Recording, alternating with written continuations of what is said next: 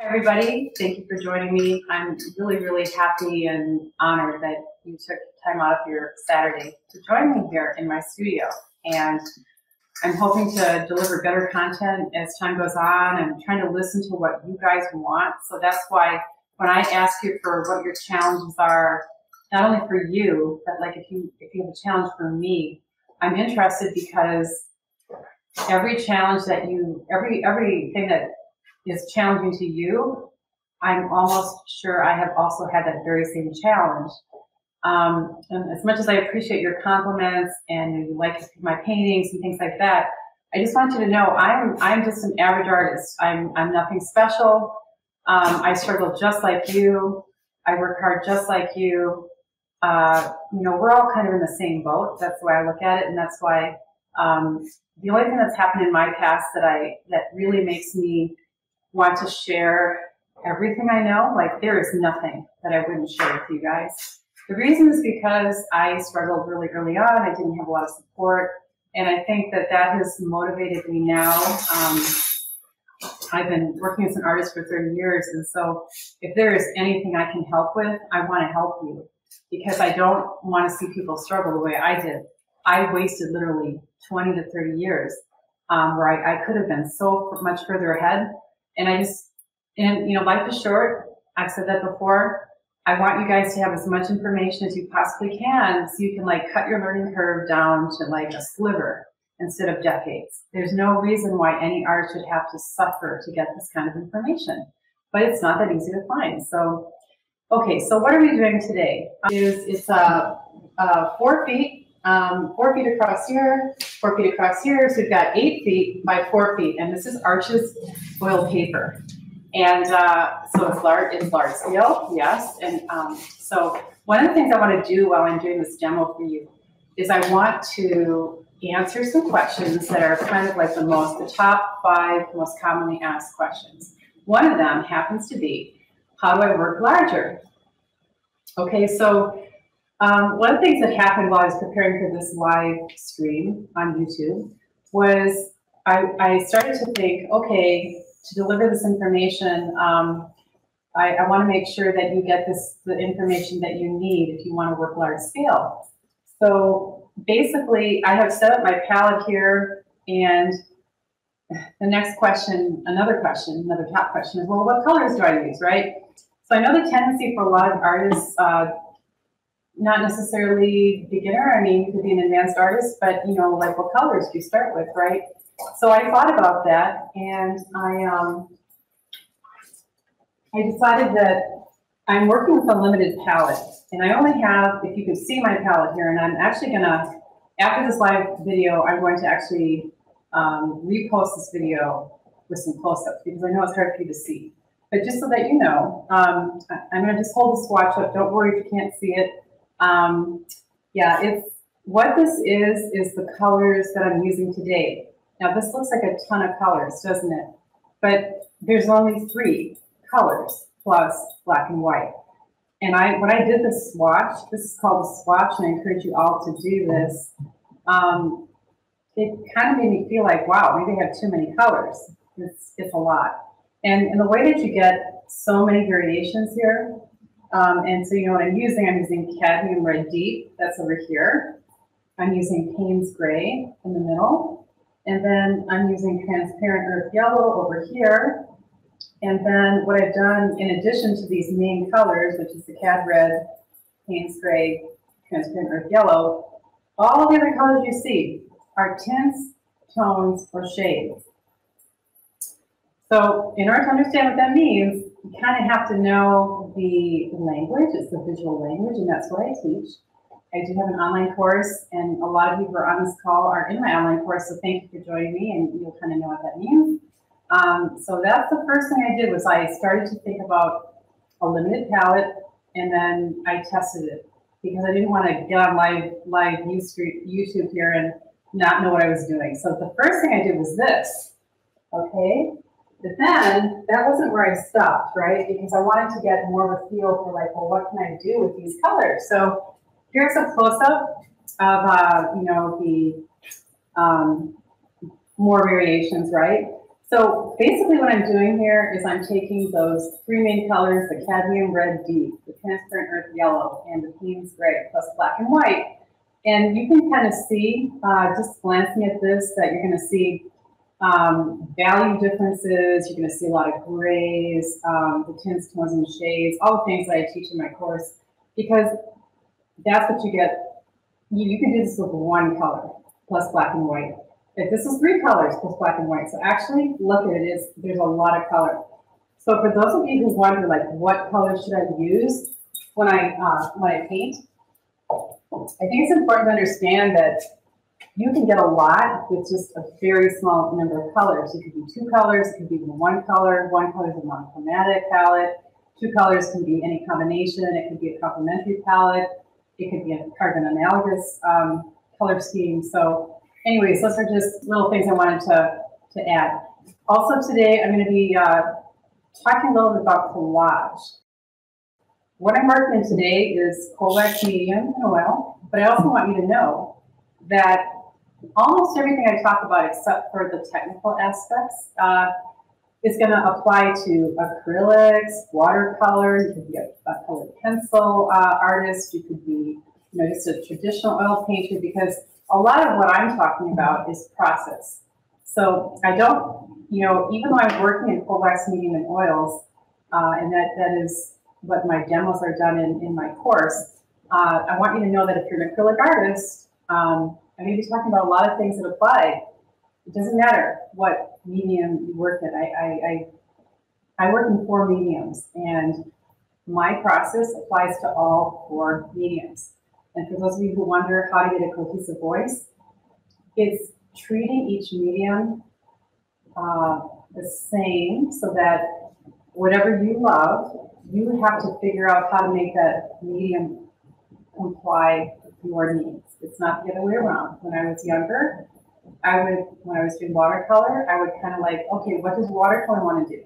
What does acrylic want to do? What does collage want to do? What does encaustic want to do? Well, they all have their pros and cons, but it's not what the medium wants to do. It's what you want the medium to do for you. That's why it's really important to figure out what it is that you love about the art you create because once you know that, and it, is um, a journey, it doesn't happen overnight. In fact, it's a lifetime, it's a lifelong journey. I go through this daily, and I expect that I will for every day that I paint for the rest of my life. Um, the journey continues. You never get to the end of your journey, and if you did, it would be like, you know, that would be pretty disappointing. So, um, okay, so Again, I will talk about collage, um, talked about colors, and working large is um, it's it's just uh, very doable. Okay, because imagine this could be on your floor, and you can put plastic down, drop cloth in your living room. I used to work in my living room. I've worked in a lot of different types of studios, and yeah, I seem to be pretty lucky now because I have space. But believe me, I've had people ask me, "Well, have ever worked in a cramped space?" Absolutely. And I worked on like a four foot by six foot thing, um, very cramped space. But anyways, this is on the wall. This is Arches paper. A lot of people ask me, how do you attach your, I think it's a cradle panel, but actually this is paper. And if you saw my mistake video where I made a mistake in measuring, um, my intern Joey helped me to make sure that these are now square. There's a seam down the middle with white tape. They're two 48 by, well, actually they're 51 by 51 inch panels, so that makes it about four feet by eight feet. Um, scaling up means that everything scales up, not just the surface, but also the massive quantities of everything. So because I'm working cold wax medium, now if you were working acrylic, it'd be the same deal, right? But this is how much cold wax medium um, that I've mixed up. And I also have some backup cold wax medium in case I run out. And I mean, here I've got a pile of white, a pile of um, my, my uh, Payne's gray, my cadmium red medium deep, sorry, cadmium red deep, my transparent earth yellow, and I happen to make one, two, three, four, five piles of gray. So if you're in my course, you know why I did that. Um, it's, it's, I wanted to have it on hand. I didn't want to to be mixing while you're watching. So um, I'm just going to get started here.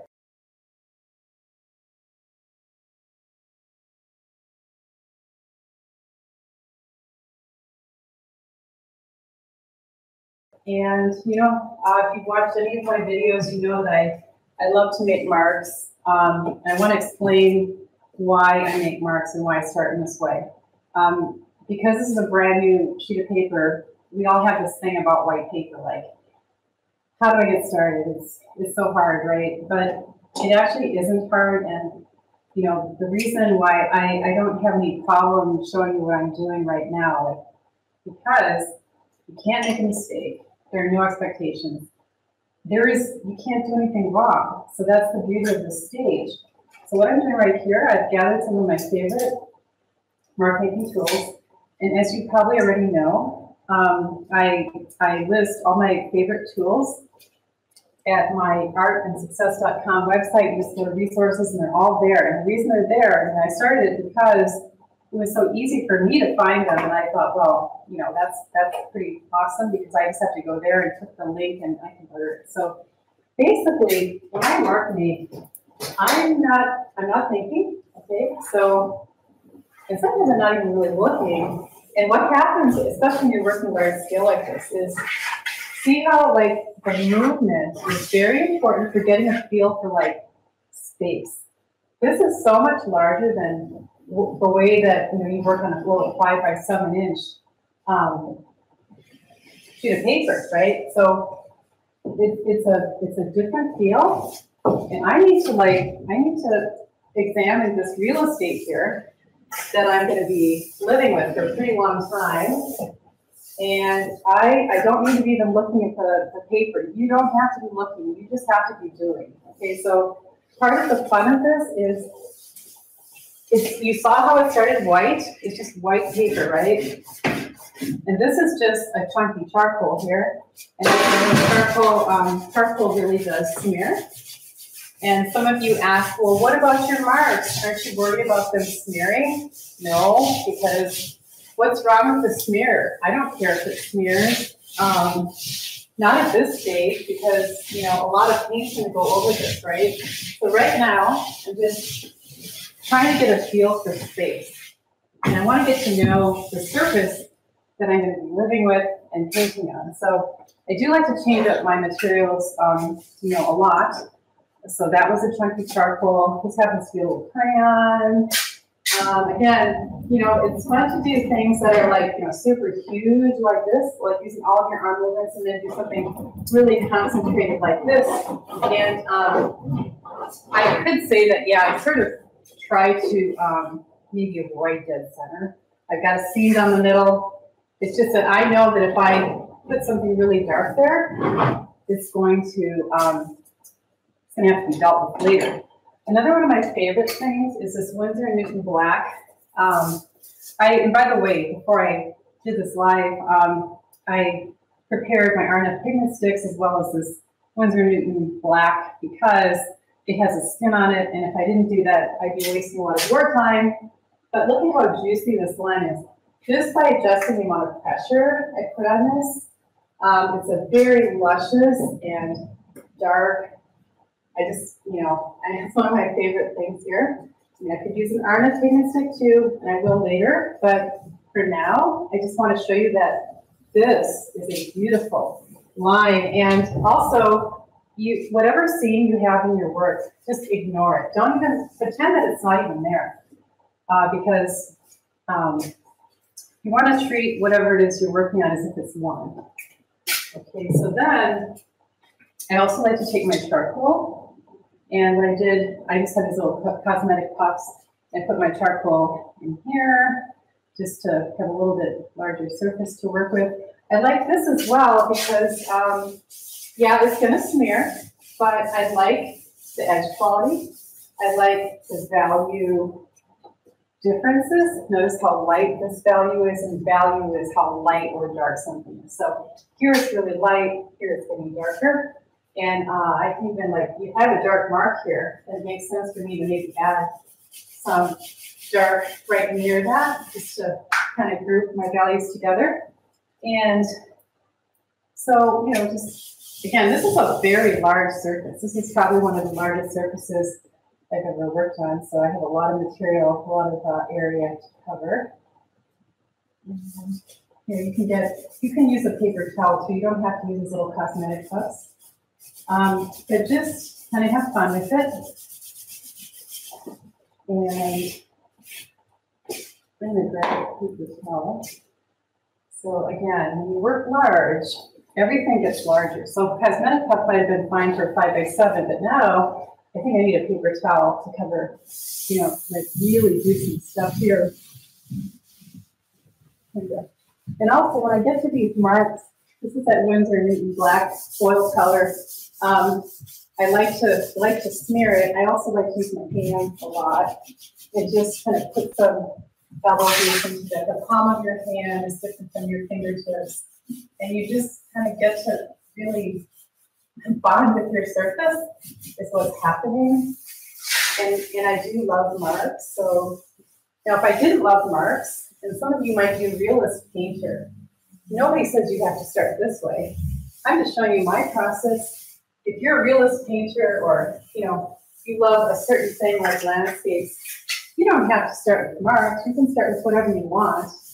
But again, this is how I tend to start. And especially when I'm working large, I feel like I have to get to I have to get a feel for like the amount of space. This is a lot of space to cover.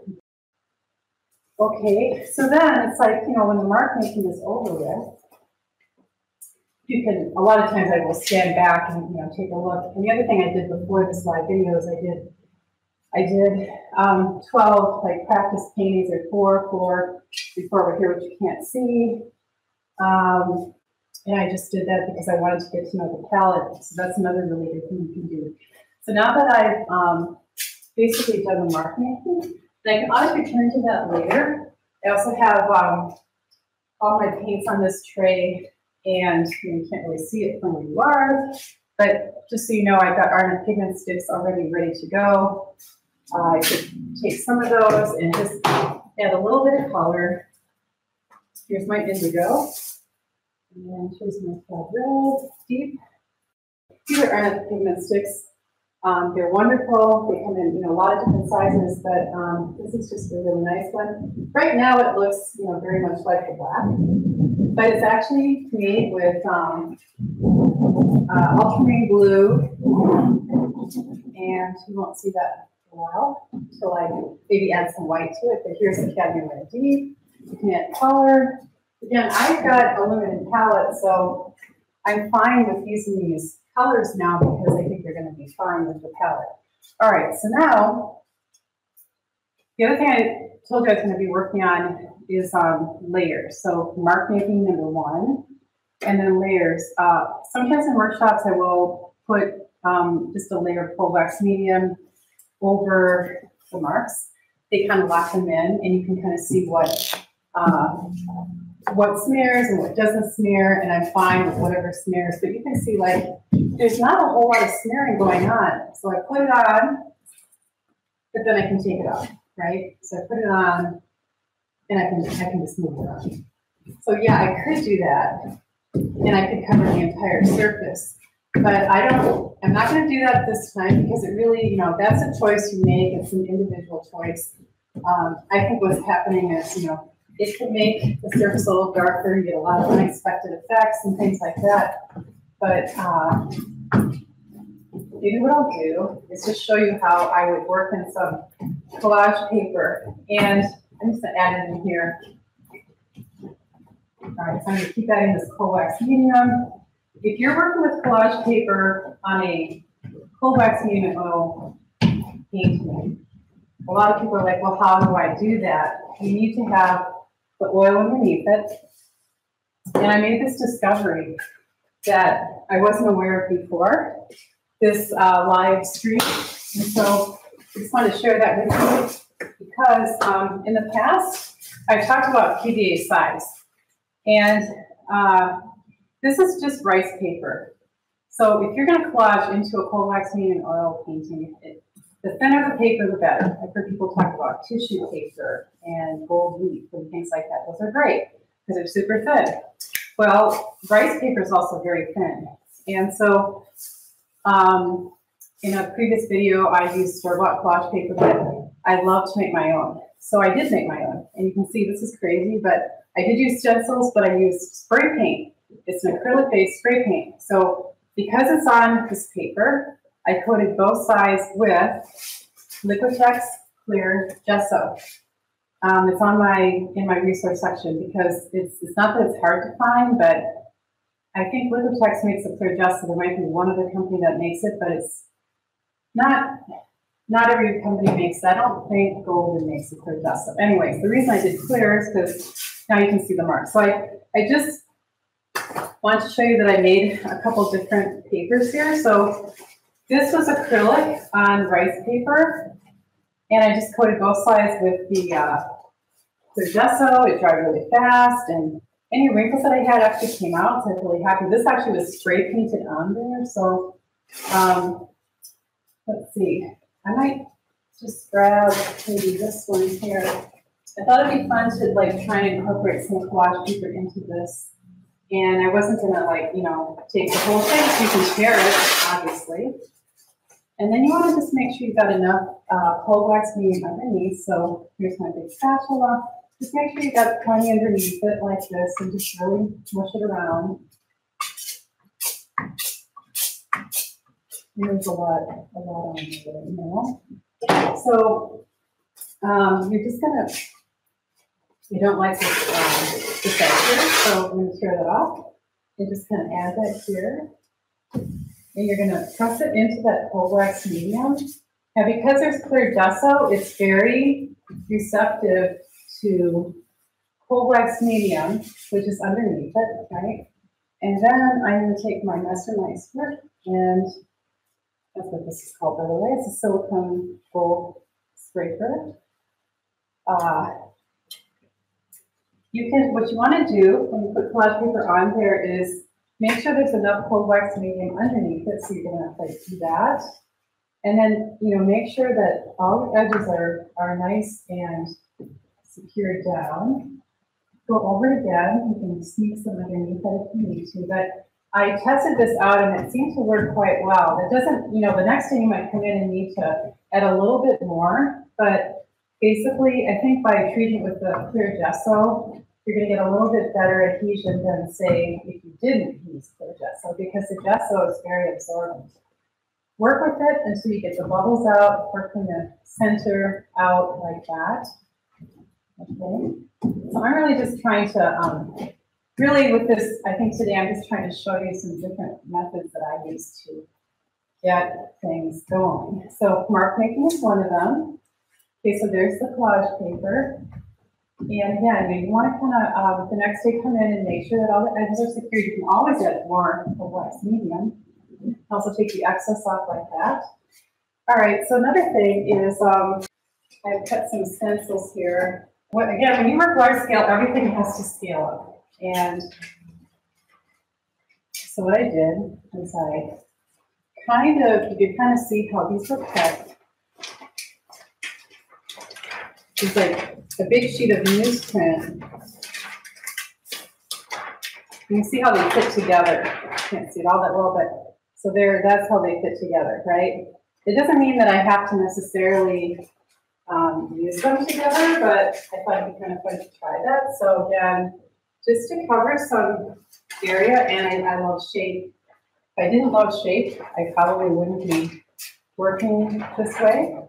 So again, it matters what you care about, and it's not about doing what I'm doing. It's like, you know, I've spent 30 years figuring out that what I really care about um, is shape. So even though I'm working in cold wax medium, and even though this medium is really great for texture. It's not that I don't like texture, but I think that um, texture is pretty easy to get in cold wax medium. It's a little harder to get shapes that you love and care about. So again, you have to kind of, um, your tools have to scale up. And let me just try to take some of this transparent yellow and put quite a bit on there. And just going to start to make the shape. And you know, even though it's kind of popping up here, you you go from the newsprint to the center of your shape like this, okay? And you can put it on thickly, but then of course you can lift it. Notice that it's just a beautiful transparent color. in my palette, I have both transparent and opaque. Cadmium red deep is an opaque. How do I know that?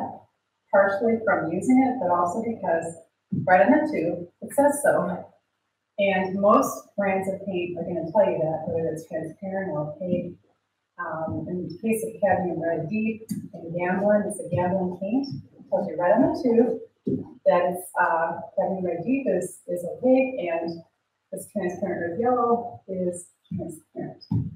And the Payne's gray is, um, I think it's semi-transparent.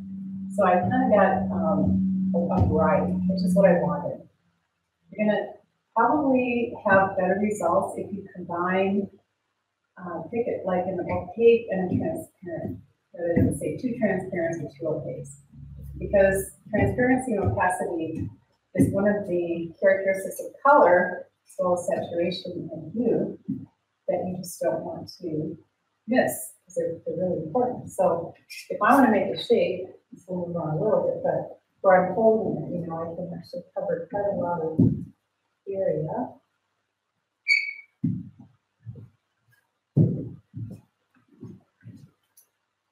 Um, again, you can kind of mark into that lift.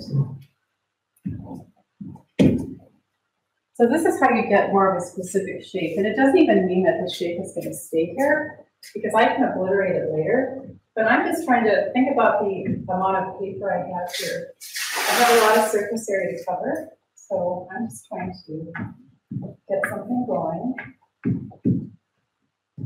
And now I don't have a stencil, but I can just freeform it, right?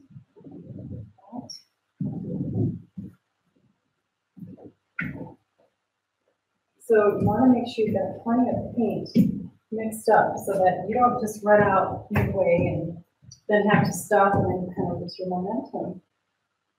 So I've used it here and I could use it again. So I will save it. I'm not going to throw it away. And there's some, it's not a perfect stencil. You can see where it kind of um, bled underneath here, but that's okay. It doesn't matter.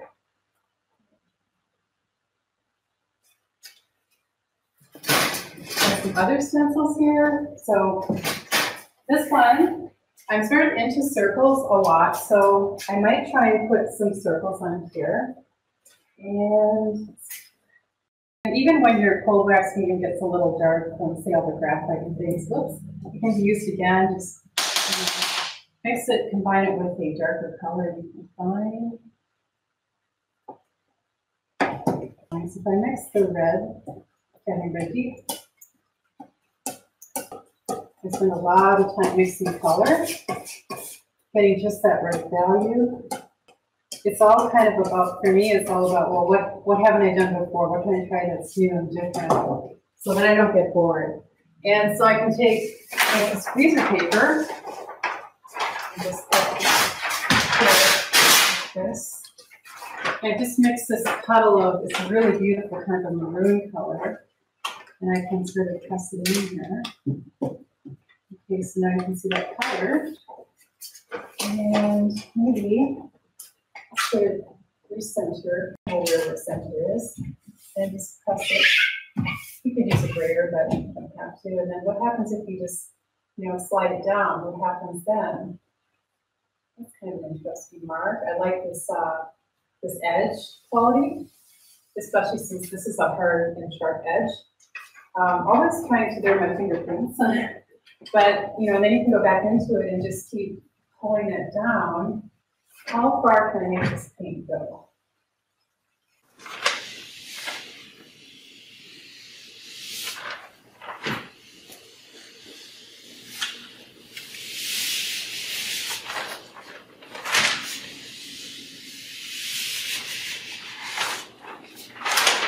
So kind of like that. Here's my paper. I can use that again. I can go back into this, but my the way I like to think about it is if I'm going to go back into that, I want to change it. So right now, it's pretty dark. I don't mind how dark it is. Um, I think I'll go a little bit lighter. So I've got all these grays mixed up, and I'm going to just take some, this is like kind of a lighter gray, and I'm going to take it over here, mix this up, and this is really going to change this color. I'll either like it or not like it. So if I don't like it, I can change it. Right now it's kind of, as you can imagine, if you add white to a maroon, it's kind of a, um, hmm, a very grayed mid-tone pink. And I might be okay with that, I might not be okay with that, but that's where, you know, your sense of color comes in. And so if I want to change it, because I don't have to take that, I can add a little bit of transparent yellow, just right here. So go a little bit more red and yellow make orange. So now it kind of warms it up a little bit. I think I like that better. add a little bit of that transparent color to it. And gotta stir it really well. Stir it. Um, gotta mix it really well. You know, I could, uh, I could just do the same thing I did before, but I could also, I was talking about those dots, so let me try that. Um, it came on later, just um, to let you know, there's, um, there's a giveaway, and it has to be, you have to submit a question or a challenge on the link that's either in the description or the comment box when this live video is over. Uh, please like and comment below. Please subscribe to my channel. I appreciate it. Let me know that you're there and that you're enjoying this type of um, content. And you know, if, if enough of you kind of like this sort of live stream, I will do it again, probably on a Saturday, because I kind of did a little poll, and that's what people seem to like. So now, I've got some paint over here that's kind of holding the stencil in place.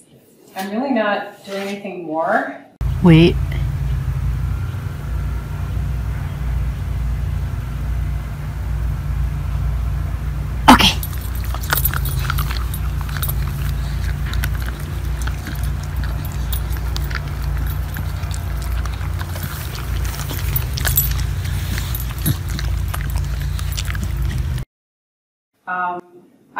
Careful and depending on how I hold this Messermeister, I can actually, I can put it on, I can put it on like this and get good coverage, but maybe, maybe that's okay for one circle, but maybe I don't want to do that for them all. And here's one that's just over white paper. So what can I do with that? I'll show you some different varieties of ways to manipulate the paint. Let's just get it on there first. Okay, so now it's kind of sticking to what was underneath it, right? And yeah, I could go back into that same color, but I could also change it. So maybe I don't want that very same dusty pink. Maybe I want like a pop of red. I can take this and come right here. Bit of red.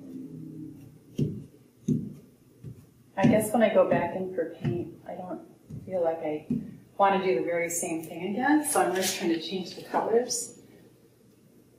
Here's maybe another change, add a little bit of this um, Gray, make it darker. This whole idea of layering, um, it is a process because you always want to be thinking like, um, I mean, these are circles, but what if I took some, let's see, newsprint,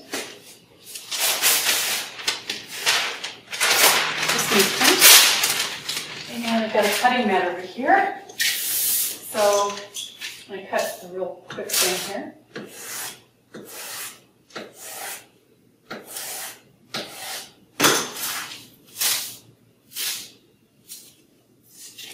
So I cut some strips of paper, and let's say that I, um, a little bit wide.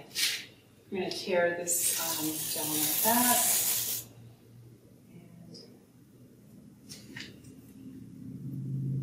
And cut this in. See if it'll stick. It may not have enough stuff underneath it to stick. And if that's the case, all you have to do is add some cold wax. Whoops. Like that. So the cold wax medium is kind of like the glue. Just to hold your, your strip in place.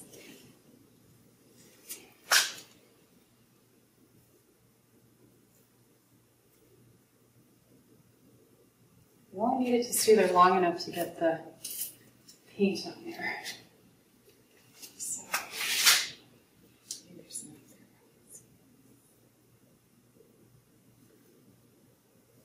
So maybe what I'll do here is I'll go light. And take um, a light gray. I don't have it yet. And just go over here.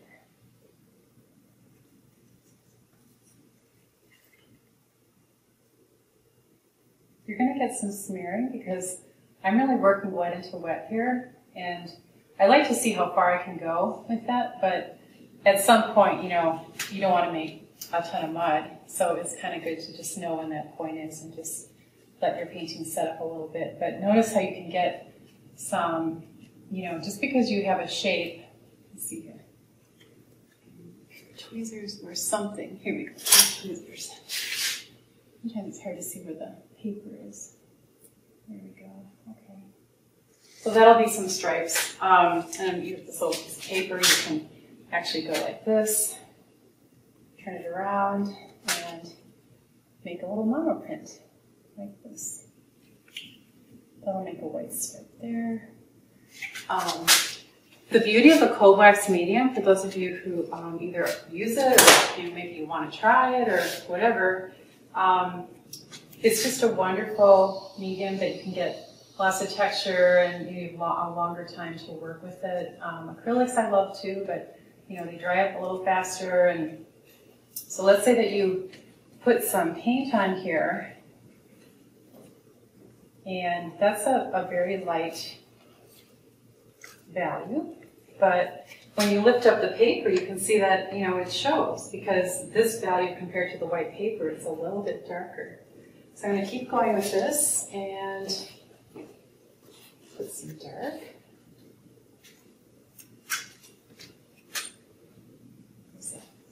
So I'm kind of aware that it's funny, like a lot of times I'm not aware, but I feel like this is kind of midway, this kind of peripheral, peripheral vision.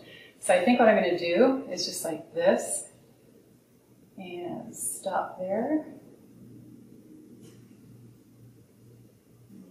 Sharp edge like this. These silicone tools are wonderful for this medium because I love geometry, so that's the other thing that I enjoy, you know, in terms of shape and that kind of thing. So if I want that kind of an edge, that's how I can get it by using these tools. So now I don't really have just this plain transparent yellow. Maybe I'll just do that down here.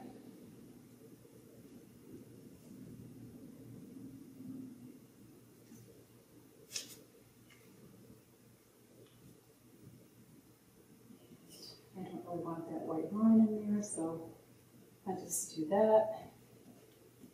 Okay, so you get the idea. Um, maybe down here, I'll put more of this color. You can also mix on the paper. You don't have to mix only on palette. So if I add some mid-tone gray here, you can move it around. Get some interesting marks.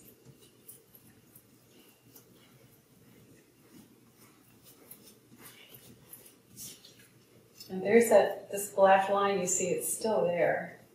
But I can also re-emphasize that.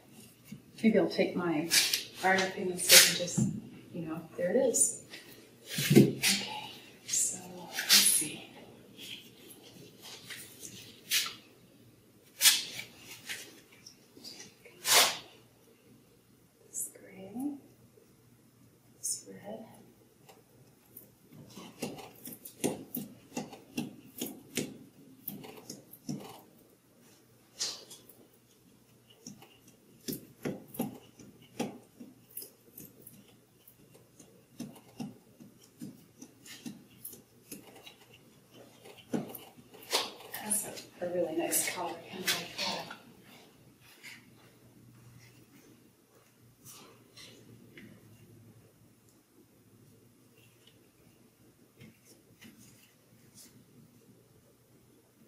There's also like experimenting with thick and thin.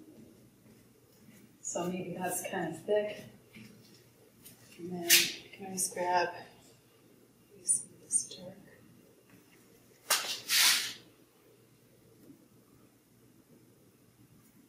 Again, mixing on the paper.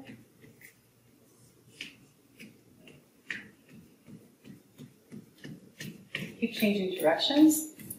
And again, these are not going to be perfect circles, but I don't want them to be perfect. this thing about perfection, I'm, I'm never going for perfection because um, that's just not my, my goal. I don't, I don't want any of my work, it, I would never have that problem anyways. Nothing of mine is going to be perfect, and that's fine with me. I don't even think, I don't even know what perfect art is, I guess. I'm not sure what that means. I think it's perfect if you if you feel like you love it. That's what perfection is for me.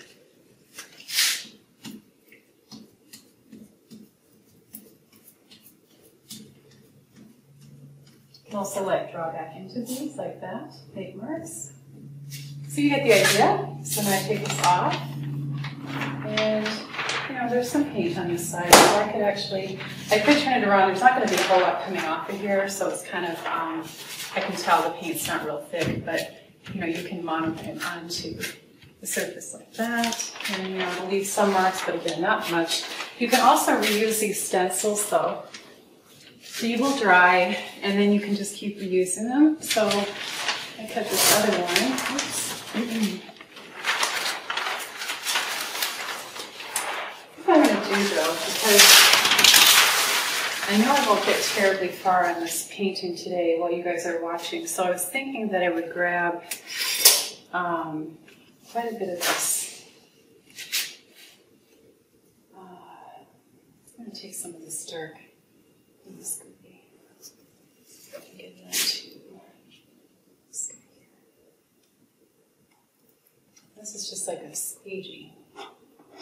But I was doing some experimenting the other day, and I was having kind of fun with um, some big broad marks. So, and it's kind of strange because I'm not standing back, and normally I do all the time. But I might want to kind of catch this here. This should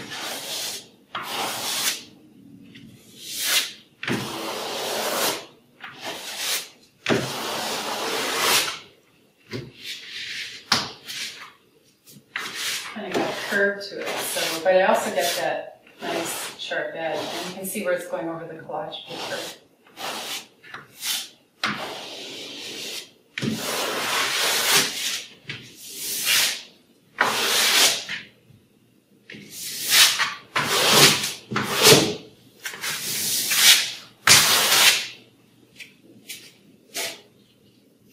Sometimes I mix this with strip gray. So when you mix a color with gray, you get a tone. If you mix it with white, you get a tint. And if you mix it with black, you get a shade. So a lot of you um, out there are in my course right now, Powerful Design and Personal Color. And I just want to tell um, those of you who are, if you're thinking about the course and you haven't signed up yet, I'm, I have a special going till the end of August. And all you have to do is go to, it's www.loveyourart.com and you can get um, 25% off, so that's $150 off the price, and that's good till the end of August. So I just wanted to let you know that if you're thinking about it, um, now's a good time, and I have, like, there is only, I think, like 10 coupons available, so if you're gonna do it, now's a good time to do it. Now's a good time to get into the course. And it's a lifetime course, so we have a wonderful Facebook group of artists that are taking it, and they like to post their work, they get to know each other. It's really a lot of fun. I certainly enjoy it. It's like over, I think it's like over eight hours of content, so information in the course. So, um, yeah. You can take just gray.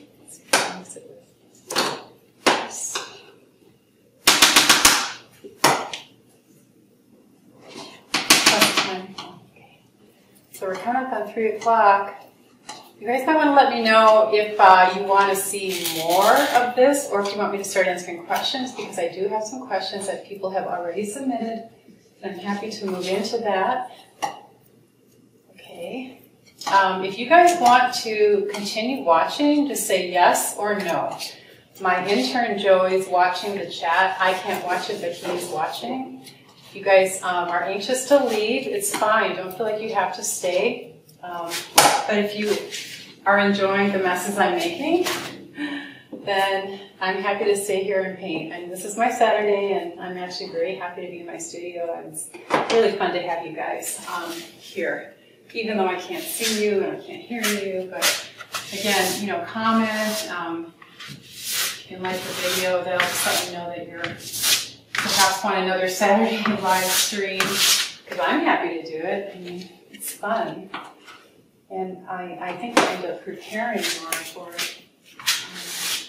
So um, when I start to do it, this could be considered a pattern or whatever, but you know, I, I, did these two in line, but then it's like, well, what if I if I move this over a bit, right? Isn't that more interesting than just like the same old thing? And then you know, as I'm scraping it, it's like every everything I do, regardless of whether it's cold wax medium or acrylic, um, if you just you know, like I didn't, I don't know if that's going to show through here. It's, just like make mental notes of what's happening, and then like what if these two shapes touch and form a larger shape? Because I kind of like what's going on down here. I don't know if you can see that very well, but um, this is a, uh, I like this dusty blue color. And I'm really, at this point, I have so much square footage to cover here. So this is slightly curved, and every now and then I get this um, urge to just use my hands. So um, just a way to kind of, um, you can sort of dig into it, but you get this way to um, feel the surface. And Arches oil paper is just, I love Arches oil paper. It's just, I also love um, the ampersand panels and you go back into this mark. So notice when I do that, I can Make it a little darker.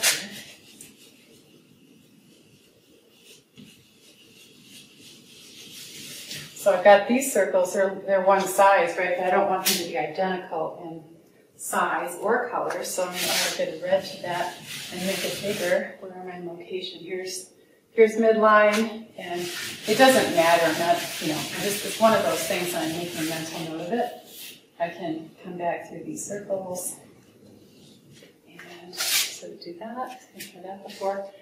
Um, yeah, just so that you know, like by this point in this painting, I would be standing way, way back to get a feel for what's happening. It's very different when you can't stand back, and I know that that's what happens when you don't have a lot of space. So in some ways, you know, that's good too. Like maybe that's a good challenge. Is work on a painting where you don't have a lot of space because you don't always have a lot of space. This is a very intense color. I didn't mix it with anything.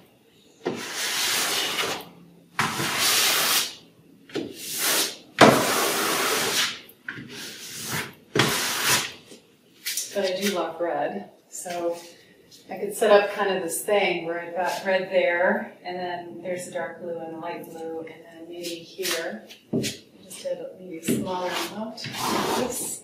But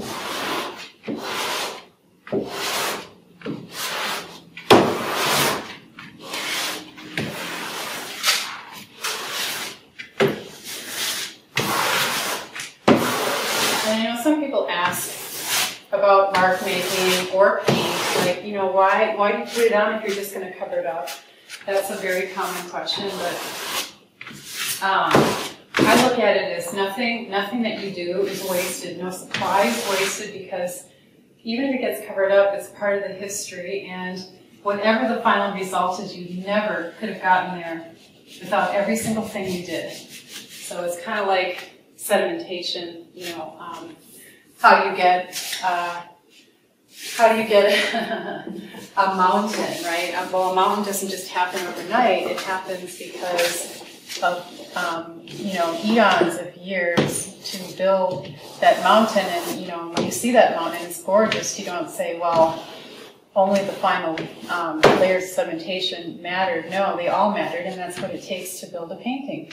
All of these things, and all the little nuances um, that makes you individual as an artist. So there's another question I thought I would just talk about. Um, a lot of people have a question about personal voice, and you know they want to have cohesion and um,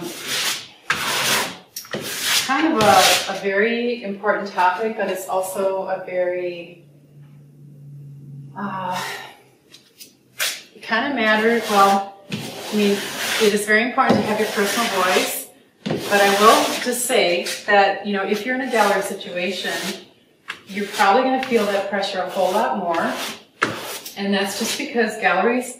Keep in mind, galleries are business, and they need to sell your work.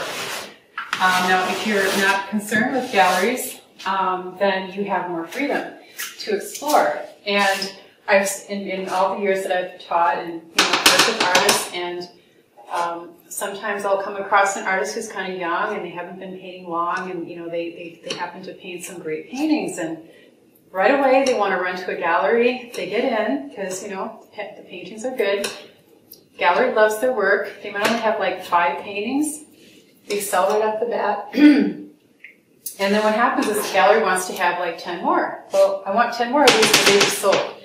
Well, that artist who's young may not have discovered what their personal voice is yet. And now they're going to feel pressure. They're going to feel like they need to do this one thing for this gallery because they don't want to, you know, they want to make the gallery happy and, and that there's nothing wrong with that.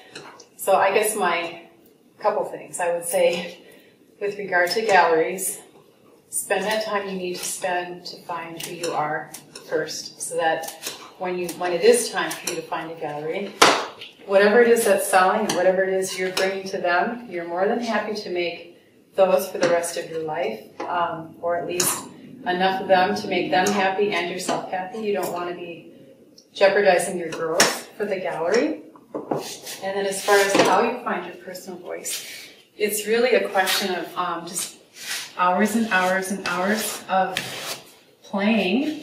Playing is probably the most important of all the three stages that I go through. I would say play, which is what this is. I mean, you can see how freeing it is. That this is when you make discoveries. This is when there's no pressure. And sometimes when there's no pressure, that's when you make the best discoveries about what it is you love. Because when you remove that pressure, you know, there's no gallery that's breathing down your neck, there's no upcoming show that you're trying to make work for. You're just, you know, playing. And literally, as I tell my students, um, it took me a whole year to start to understand what play really was because I had been so used to, um, I felt like everything I had to, was doing had to be perfect um, had to please others, that they had to like it. And what happens is you're very vulnerable when you paint that way because you care what other people think. Whereas when you find your personal voice, you don't care what people think. That's the, to me, that's when you know you found your personal voice. And that's how I knew when I stopped caring what other people thought I stopped caring what my husband said, you know, at three in the morning when I was in the studio painting. I mean, he might say he loved what I was doing, but I knew that it wasn't done, and therefore I could keep going. And I wouldn't, you know, it's like take a picture because it's not going to be here anymore. And he started to know that, and it wouldn't matter what he said. He knew that I would probably destroy it because I knew that it either wasn't done and, you know, it's not enough for somebody else to love it. You have to love it. That is like, that's the ultimate um, goal, in my opinion, of what you're going after. Um, it's fine to get uh, feedback, I don't say critiques, because critiques are very valuable, but um,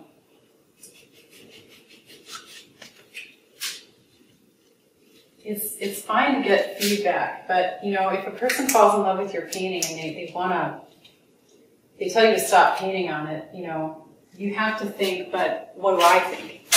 Because that's, that's the most important part about it. Is what do you think? It doesn't matter what other people think.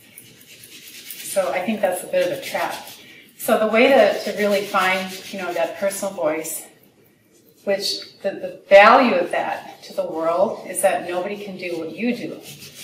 Um, you know, and it's okay to copy because, you know, everybody copies. I think we all paint what we've seen, what we've known, you know, the museums we've gone to. It's kind of hard not to be influenced, but, but even when you copy, that can only go so far because um, you know, the reason we copy is to learn technique and, and things like that, but you're not going to be able to sustain that for very long because it's not you. You're not that artist you're copying. You're going to learn a lot. Like you might copy the impressionists and learn about color, but you're not an impressionist and you didn't live the lives that they lived. You didn't live at the time they lived. So even though you gain a lot of experience by copying, it's not sustainable. And I did plenty of paintings where I copied Leonardo da Vinci when I was young. I was so proud of myself when I did almost a, what I thought was a pretty good copy of one of his drawings of a soldier, and I just loved it. I, I kept it, you know, it's in my portfolio. I probably even had it in my portfolio when I was trying to get into grad school. I just had it in there, you know, even though I did it when I was really young. I was proud of it, but um, I didn't continue to draw that way. But I also learned that to draw like Da Vinci, you, it, you know, you learn patience and you learn how how involved that really is to get the proportions right of a figure and all the details that he had in the drawing and the power of observation. It's a very positive thing. There's nothing wrong with copying. I just think that, you know, if you may do it for a year, you may paint like another artist for a year, but it's just not going to be enough for you eventually. Eventually you're going to get tired of it and say, you know, I get it. I know what they're doing, but now I have something to say. So that's why there's no, no reason not to share what you're doing. There is nothing that's original. And, uh, Okay, so the only thing that I'm like at this close range is very hard for me aside from being a gigantic mess. Um, what, what, I'm noticing up close is primarily a lot of midtones. Um, when I talk about midtones, what I'm talking about is um, this is a value scale, and uh, so the midtones are kind of like the very top, say, top four um, I use these a lot in my workshops, and I'm headed headed to New York City pretty soon, and I'm really excited. So if you guys are going to be in that workshop, let me know if you're on this um, live stream, and I hope that you are. Uh, but so value-wise, um, normally what I would do is I take a black and white photo of this because that's how you see color in terms of what I like to think of um, the the bones of color, like what's underneath, what's you know what is about color that's really important is, is how light or dark it is or how midtone it is um, because the eye tends to see that first. And so just by squinting, I can, you know, I know that cadmium red is a midtone. So you guys should take a photo of your painting and go to black and white and midtone, midtone, midtone. Dark, dark, dark, obviously. And then the paper is as white as it can be. So I am very aware even at this close range, like where is my white? Well, it's not in a very good location now because that's something that you work on later. But what I can do at close range is I can look at this and say, okay, um, I can see the kinds of midtones I have. What don't I have? I like to ask, what don't I have? And one thing I don't have, because right now I have a lot of color. Like almost everything I have up there is color. I don't have some just plain old gray. And, and I love grays. Um, they don't have to have color mixed with them. They can have a little bit, but they don't have to. So here's a midtone gray. Can't really see it very well, but I'm noticing like here, I don't want white on the edge. So I can close this gap just with gray.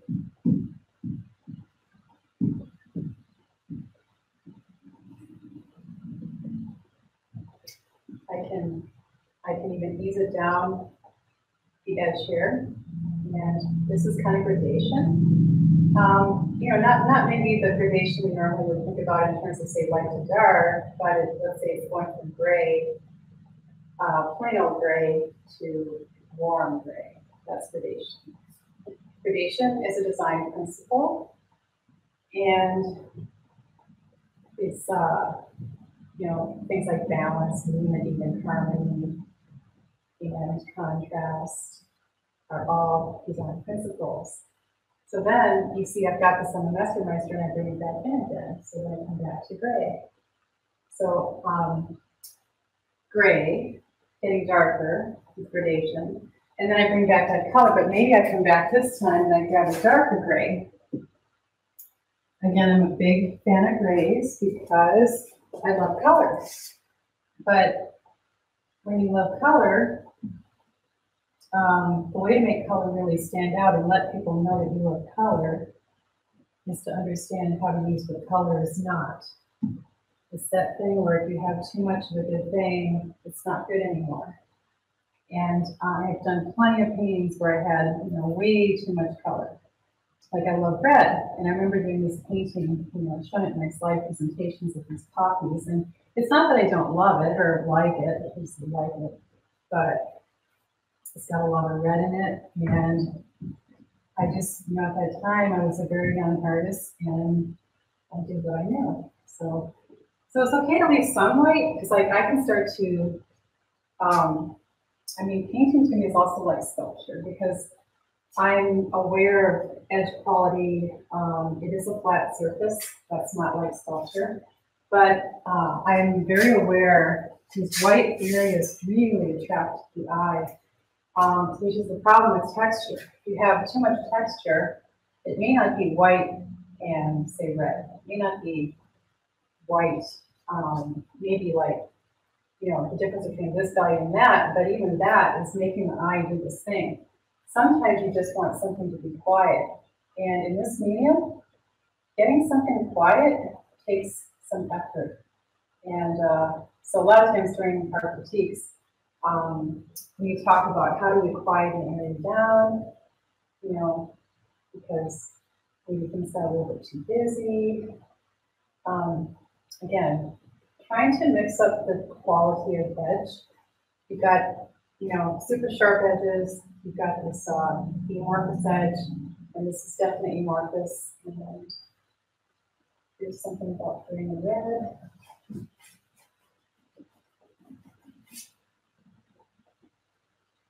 Um, this is very white, so um,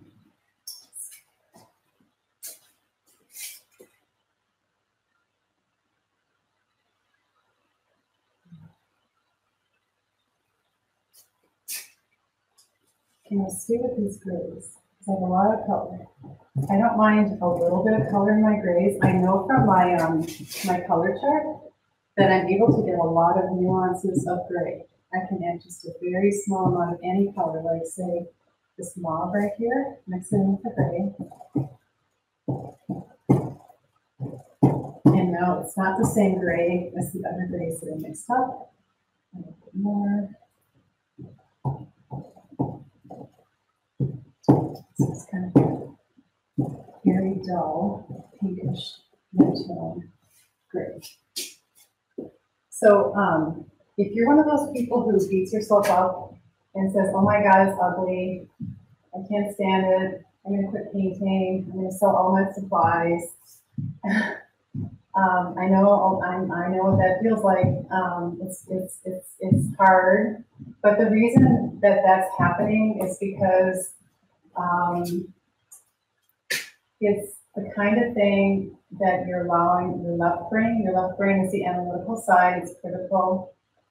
And one of the reasons why it's very important to learn the visual language is because that language is power. That language is going to give you the ability to shut the left brain off. Um, you're kind of helpless when you don't understand the language because you can either say it's awful and it's ugly, or you can say, wow, I have a lot of neutral tones here. I have a lot of grays. I don't have a lot of saturation. I have a lot of mixtures. I don't have pure color. And that's so much more positive than saying, oh my God, it's ugly. So you're just lacking um, the other side of the conversation. Your left brain knows the English language. So the only way to combat the English language, or whatever language you speak, is with a different language, which is the language of art. Um, and that has to be learned. You, you know, you have some intuition, but, and I had intuition, I had intuition for decades. Um, but that wasn't enough. And I went to grad school. A lot of you know I worked with Nicholas Wilton. That was a great experience, and I'm always grateful to him for what I learned. Um, but you know, I kind of just went from there, did my homework. Um, you know, I you can learn from another instructor, you can learn from me or anybody else, but eventually you have to figure out how to make it stick. Because you can't just listen to somebody and say, okay, I get it. Um, there's a lot of personal introspection that goes into figuring out whether what you heard rings true. Um, are you just going to believe it without questioning it? Or are you going to put in the time that it takes to make sure that, you know, are you going to own it? This is what I'm to. Okay, so right now, as you can see, I'm starting to again, because I get, I start to see all this white paper and I know it's going mid tone, which is great because a lot of my paints go too high key, which means a lot of light value.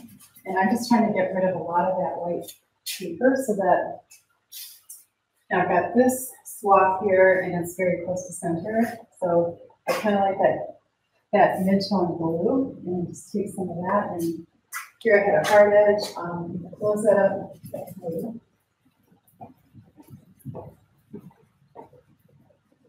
It's never a problem to have things like in the center. You can always, always offset that. But again, that takes practice. Um, there are a few things you need to know to be able to do that. So I'm just putting some gray over here because gray is not the same as white. It's a little bit toned down.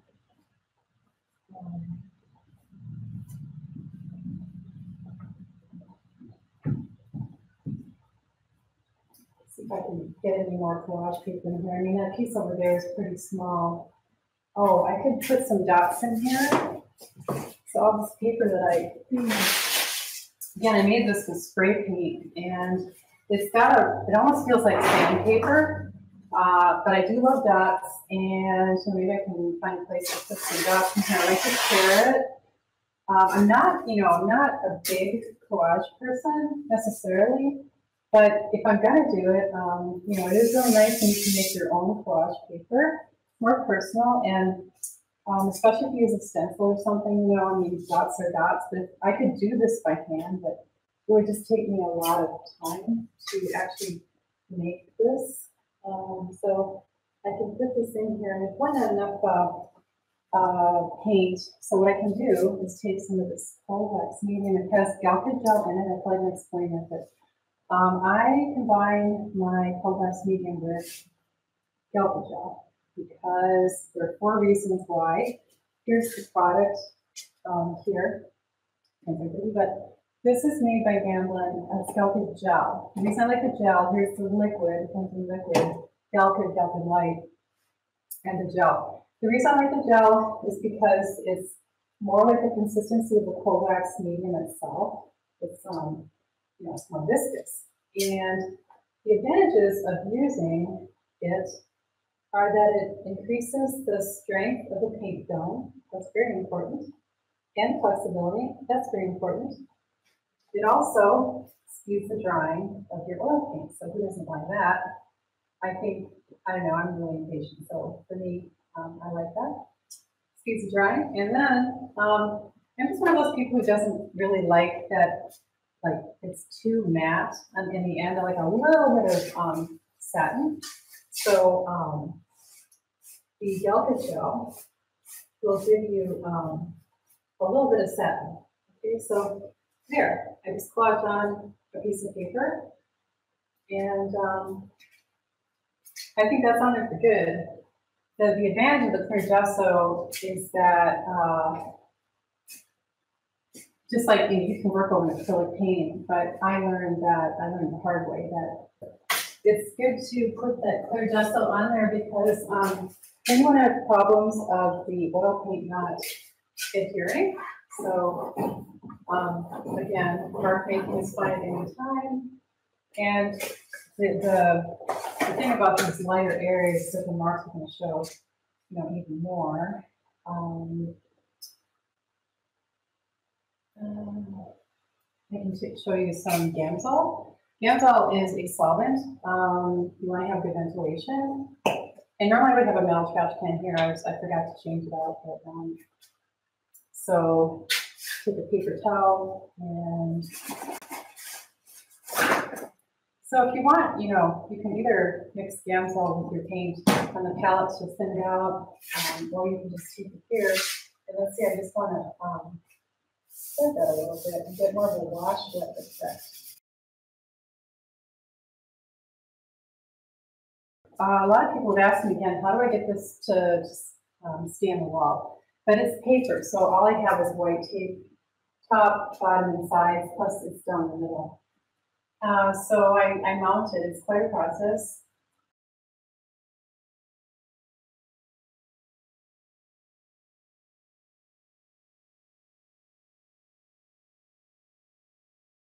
that you just take um, anything that's like freezer paper, shiny side like this. And so I've gotten, you know, pretty dark, and what I could do then is take some of the mid-tone gray and yeah. Okay, so there's a shape. And I made it kind of this value because I've gone pretty dark here, and then you have to decide what you want it. So I got like, this is size of my hand, smaller, I have to close that up. This is a bigger white shape. Um, I'm trying to figure out like the whites are kind of guiding the eye through the even though it doesn't mean it'll stay that way, but like where would this go, where's it gonna show up? How about here? And then you go like this it's kind of blind because you know with the wax paper you can see through it. I can't see through it, so um, I'm guessing there it goes. It's gonna lift. You can see where it lifted, but that's a very different kind of mark than you know. And then you got that, and so then you can monoprint it again. I should flip it around, and it's just like a repetition of a shape. But I don't ever like to just like take the same place. So.